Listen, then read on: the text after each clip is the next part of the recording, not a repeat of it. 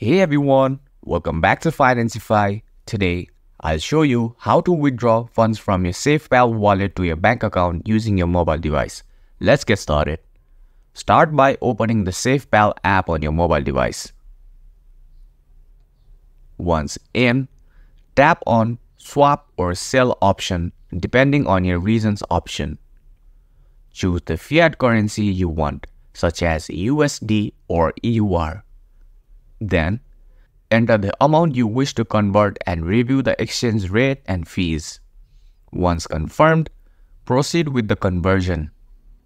Wait for the confirmation notification indicating that your crypto has been converted to fiat. Now, go back to your wallet overview and tap on the withdraw or send option. Select bank transfer as the withdrawal method. Enter your bank details or select from previously saved accounts. Input the amount you wish to withdraw and confirm the transaction. Review the withdrawal details carefully. Once everything looks good, tap on Confirm to initiate the transfer.